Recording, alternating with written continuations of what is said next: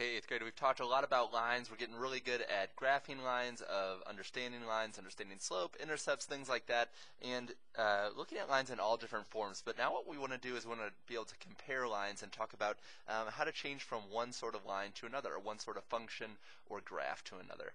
Um, so what we're going to do is talk about parallel and perpendicular lines. Hopefully these are familiar words, um, but we're going to see them uh, a little bit more and get a little refresher. So here we go before we get into the notes, I don't want to just give you explanations. I want you to see it for yourself. So what is it? Hopefully you'll agree with me that on these coordinate planes that these first sets of two lines, those are parallel.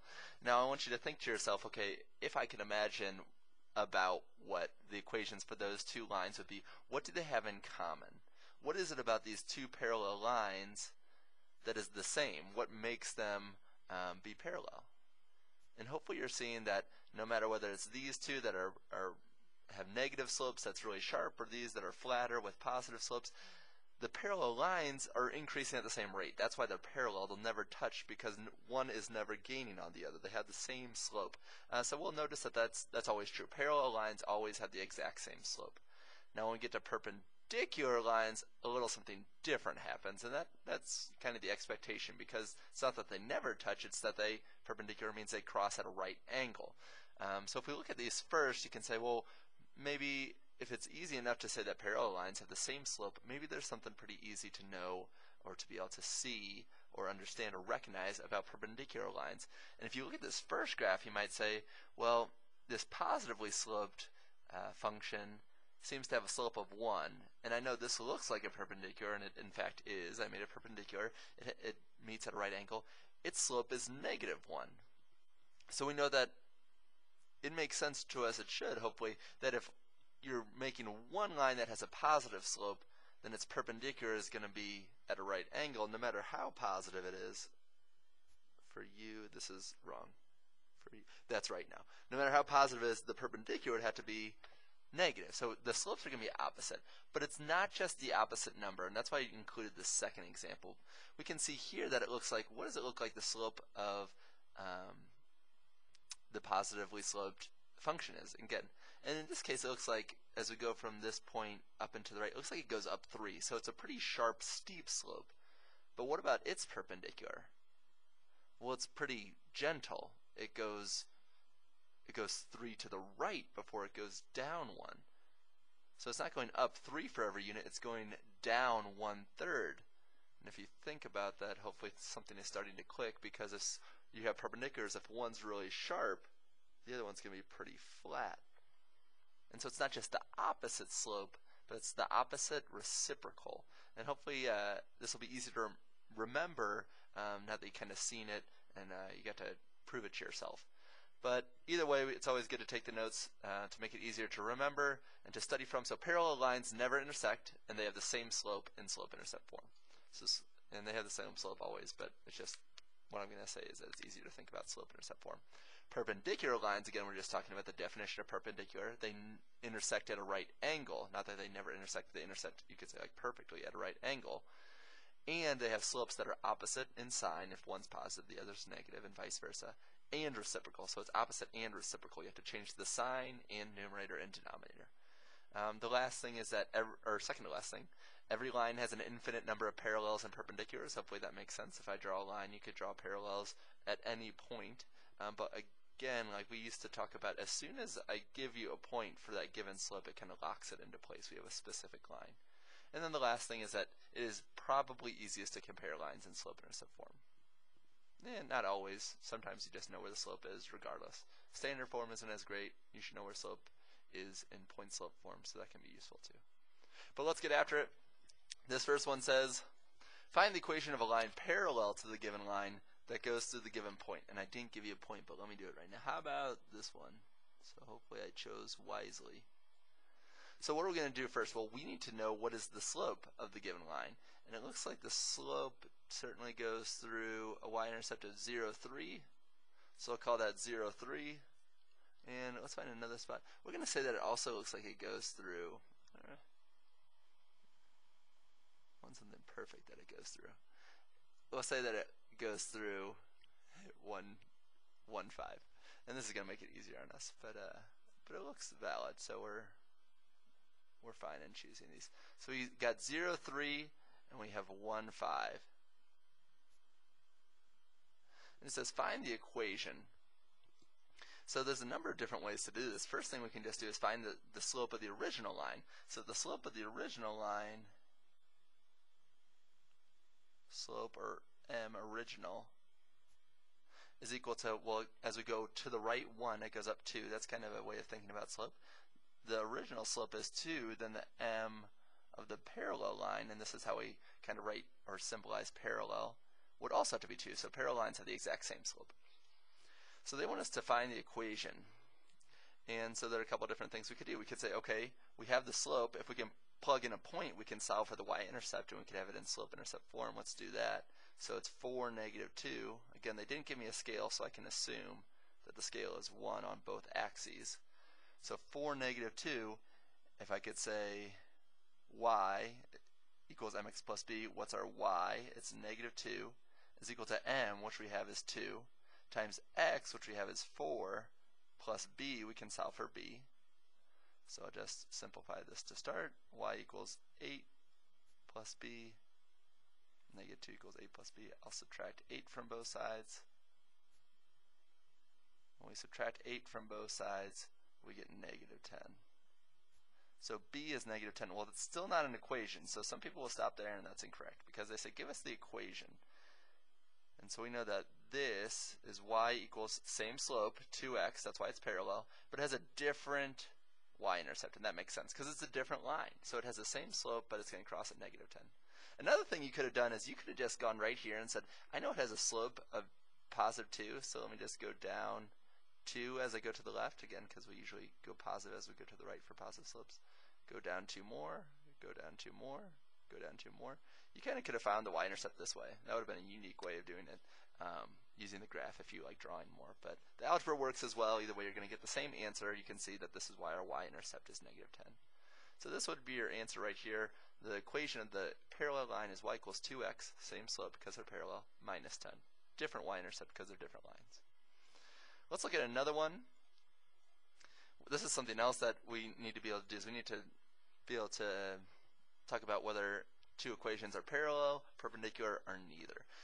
So some people are going to say, oh gosh, I got to change it all around, put it in y-intercept or slope-intercept form. I got to compare all this stuff we just need to know the slopes because if I can compare the slopes, I can know if one is the same as the other or if one is opposite and reciprocal, in which case they'd be perpendicular lines. So I'm going to look at these two, and I want you to look at that first one, uh, line A, and tell me what does that make you think of. And what it makes me think of is point slope form. So it would be y minus y1 equals m times x minus x1. And that's great because if this is in point slope form, then I know the slope of A is negative 3. Now I just need to find the slope of the second line and see how does it compare to negative 3. Now this one's a little chunkier, it's a little messier, it doesn't look like anything I'm used to, so I'll just try and uh, change it around, combine some terms, and get this into slope-intercept form because that's easy for me to see slope then. Uh, so let's just know that we're going to use the scales of justice. I'll add 4x to both sides because I want to get, again, slope-intercept form. I'm just trying to get y by itself on the left. And we're getting close already. 6y equals, I'll put 17 on the right side, and I'm allowed to do this. This is just the commutative property of addition. It doesn't matter what order we add them in. Negative 6 plus 4x would be negative 2x. And again, the 17 was positive. Finally, we need to divide both sides by 6. And this will get us y by itself, and it'll therefore be slope-intercept form. But if I'm going to divide the left whole side by 6, I need to divide the right whole side by 6. Now stay with me.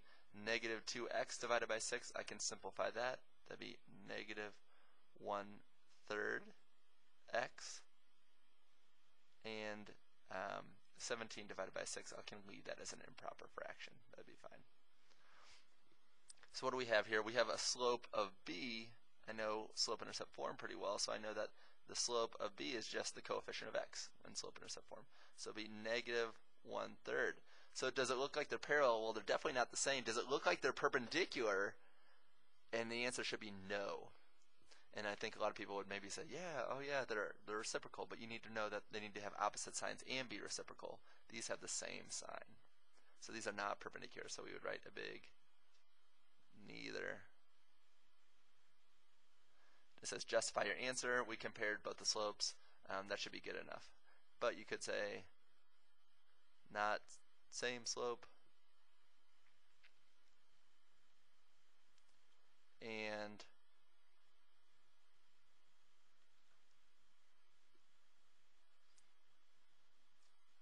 could say slopes aren't opposite and that would be showing that they're not perpendicular either. Okay, so that should be enough. Let's do one more together before I send you off on your own.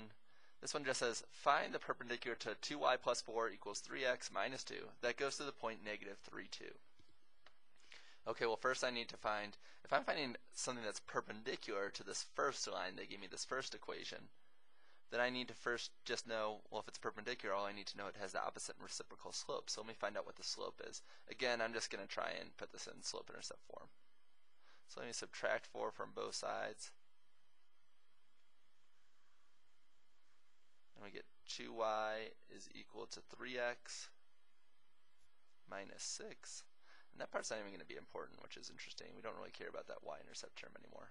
In this case, y is equal to 3 halves x. And I could stop there because that's my slope, um, but I won't.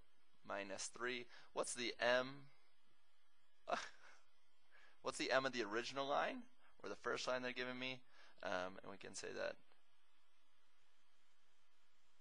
m1 is 3 halves. So the question is, what's the m of the perpendicular? And I want to show you that this is how we symbolize perpendicular. It looks like that because it's showing the right angles. So the m of the perpendicular will be opposite and reciprocal. So it has to be negative because the original is positive. And we'll flip numerator and denominator. It'll be negative 2 thirds. Okay, if I'm trying to find the equation of um, the line that has that, that goes through negative 3, 2 and has that slope, I will show you slope-intercept form first. Um, so let's plug in y equals mx plus b. I can plug in this point. y2 equals m, our new m is negative 2 thirds, times x, which in this case is negative 3, plus b, and that's what we're going to solve for, so we can find the y-intercept. So it's going to be 2 is equal to, what's negative 2 thirds times 3? Well, those cancel out. Negative 2 times negative 1 is 2, plus b. 2 plus what equals 2? b is going to be 0. So you could say y equals our slope, m, negative 2 thirds. It's opposite and reciprocal of what we were first working with. And what's our b? It's 0. So you can include that. You don't really have to. Something else you could have done is you could have just put it right into point slope form. So y minus y1, what's y1? 2 equals m, the, the um, perpendicular slope is negative 2 thirds times the quantity of x minus x1. What's x1? Negative 3. So minus a negative 3 is the same as adding a positive or y plus 3. So this would be fine. This would be the equation of the line that meets that criteria. That'd be it in point slope form. This is it in y-intercept form. Those are the two versions of the same line. Pretty interesting. Pretty good. Hopefully it made sense. Rewatch any parts that don't. And uh, I'm going to send you off with these. Ah, here we go. First one says, are the following lines parallel, perpendicular, and neither justify your answer, just like we did in that example problem. Make sure you pay attention to what would have to be true if they're parallel or perpendicular. And the second one says, find the equation of a line parallel to y equals 4x plus 9 that has a y-intercept of 8. And so think about what a y-intercept is, um, where it intercepts the y-axis. So that kind of gives you a point to work with. Or you could use it in a different way. Uh, but do your best. I'll see you later.